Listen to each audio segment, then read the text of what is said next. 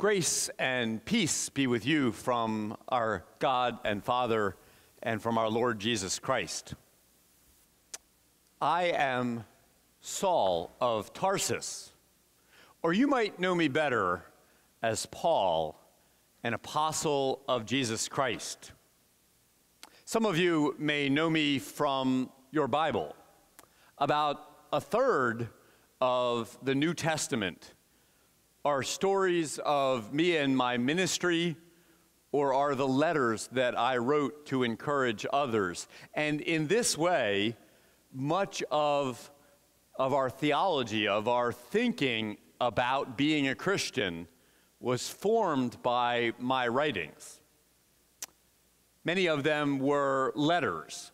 Of the, the 13, well, some of the letters were written by me directly and some by my followers, uh, but 13 of them, nine of them, are churches that I planted or, or helped to plant brand new communities of Christians. And then four of those letters are those that I wrote to encourage individual Christians. And in planting those churches and traveling around uh, telling people about Jesus, uh, we didn't have such measuring devices uh, back in, in my day, uh, but uh, scholars have estimated that I traveled between 10 and 15,000 miles telling people about our Lord Jesus Christ. Traveling most often by foot, sometimes by horse, and many times by boat as well. And in my many travels, and you will read of this in my letters, I developed many wonderful friendships, many partnerships with, with people and encouraged them, and they went on to change the world, telling people about Jesus. But I didn't come this morning to tell you about, about my accomplishments this morning, but I wanted to share with you instead how my journey began. Sometimes it's helpful to go back to the beginning and think about how you became a person of faith, how you came to know of Jesus, how you came to serve him. I'm sure each of you has your own story, and I wanted to share mine with you. Unfortunately, my story does not begin positively. I was raised as a passionate and well educated Jew. And so I hated, hated Christians, followers of Jesus. I felt that they were perverting the one true Jewish faith. I did everything I could to hurt and harm and imprisoners followers of the way, followers of Jesus. I remember one time in particular, a passionate Christian named Stephen was, was speaking to us religious leaders, and he was Jewish as well. He knew all of the, the Jewish story. But then, as, and, and when he spoke, he, he spoke like, like an angel. The, the countenance on his face, it was glorious. But then, as he ended his description, he described how now with Jesus and the gift of the Holy Spirit, God could be worshiped anywhere not just in the temple, which of course is blasphemy. And the anger rose up in me. And I think about this even today the contrast of the look on his face, the angelic look, and yet the blasphemy that I thought he was speaking. And the anger rose up so much amongst the leaders that many took up rocks and stoned Stephen. And although I did not throw a rock myself, I stood guard over their cloaks while they did. I did not believe that Jesus was the chosen one, the Messiah. I did not believe that he could be risen from the dead. And so my passion to exterminate these Christians grew, and I asked for permission to travel to Damascus in order to punish Christians who were there as well. And it was on that journey, it was on that Damascus road that my life changed. I was not far from Damascus, and this incredible bright light shone around me, a light clearly from heaven, and it knocked me to the ground. And a voice said to me, Why are you persecuting me? Well, I did not know who this voice was or how I could be persecuting him, and so I, I asked, Who is this? And he told me that he was Jesus. I had never thought about this, but I realized that when I was persecuting any child of God, and especially a follower of Jesus, I was persecuting Jesus himself. This is worth wrestling with for all of us that whenever we are cruel, whenever we are unkind, whenever we hurt anyone, especially a follower of Jesus, we're not just harming them, we're persecuting Jesus himself.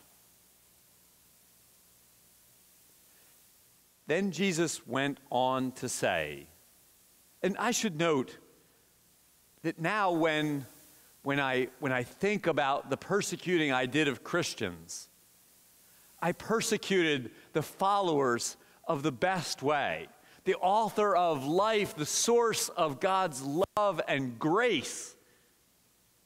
These are the ones I was persecuting.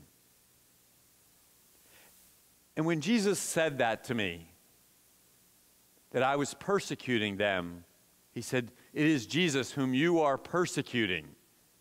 I think your Bible translation does not accurately uh, reflect what it is that Jesus actually said to me. Your translation is not as deep as it could be.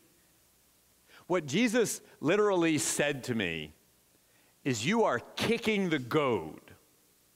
Now, perhaps your translation does not describe that because you probably wouldn't know what that means. But let me, let me explain this to you. So, kicking the goad means this when someone has a beast of burden, for example, an oxen, they will carry uh, a goad with them. It's a stick, a staff with a sharp metal point and you use this to guide the beast of burden, left or right, or if the animal is not traveling fast enough, you humanely, but encourage them along. But some animals are so stubborn that they kick against the goad, they kick back on the prod, and in fact hurt themselves even more in the process. Jesus said to me that I was kicking the goad, that I was fighting back in the very direction and the very guidance, and in fact, the very love and grace that I needed. I was fighting back against Jesus. And perhaps you can relate to this as well. Perhaps you sometimes have fought against what Jesus has for you as well. He has such guidance and direction for us, but sometimes we fight back against it. We kick against his goad. And think about this. For all of the, the times when, when we resist, when all of the times when, when His guidance and His direction is the best course of action for us, shouldn't we follow along with this? There are times, of course, when, when we lie or we cheat or we are cruel to others, or we steal, or even worse things. And He wants the very best for us. And yet we fight against Him. He is the source of all grace and all love. We always want to take His guidance. It was that day that I stopped fighting against His direction stopped kicking the goad, and in fact let myself be led by Him. It was then that I experienced Jesus' grace. Well, first, I should tell you that from that moment on, I was struck blind. I, I, I think not only blind physically, but I realized how blind I had been spiritually. Those who were with me, who heard the voice as well and were just as amazed as I was, led me into Damascus. And there for three days I neither ate nor drank and simply waited for what Jesus had for me next. And it was then that I experienced Jesus' grace through a man named Ananias. So often we do experience grace through the physical presence of someone else. Ananias, I found out, had been called by Jesus to go to me. Now, Ananias had absolutely no reason to trust me. In fact, Ananias had every reason to hate me for my actions against Christians. And Ananias said this to Jesus. But Jesus told him, I have a plan for this Saul. Later, I was to change my name to Paul to indicate the changes that God had made in my life. And so Ananias came to me. Ananias, as I said, who had every reason to hate me, called me brother. And he laid his hands on me. He was a conduit of God's healing and God's grace, for immediately laying his hands upon me, I could see. And then I ate and drank. And in fact, I had the opportunity then, as Ananias did, to be a conduit of God's grace and love.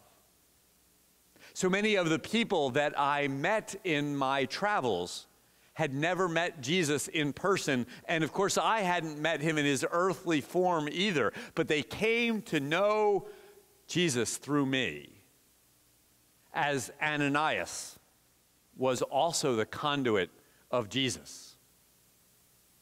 And we as well have the opportunity, you have the opportunity to be a conduit of Jesus' grace, as Ananias was to me. It was that day that not only my thinking and my faith changed, but my actions changed. All of those things I told you about before, the letters and the travel and the encouragement of many Christians, it was not enough for me just to believe in Jesus, but I had to tell others. I had to share in the way I lived my life with others. And each and every one of us has that same opportunity to be a conduit. As Ananias was to me and I was to others, we can be for a world desperately in need of Jesus. I hope that you will go and live a life serving Jesus as I have as well. And again, grace and peace be with you. Amen.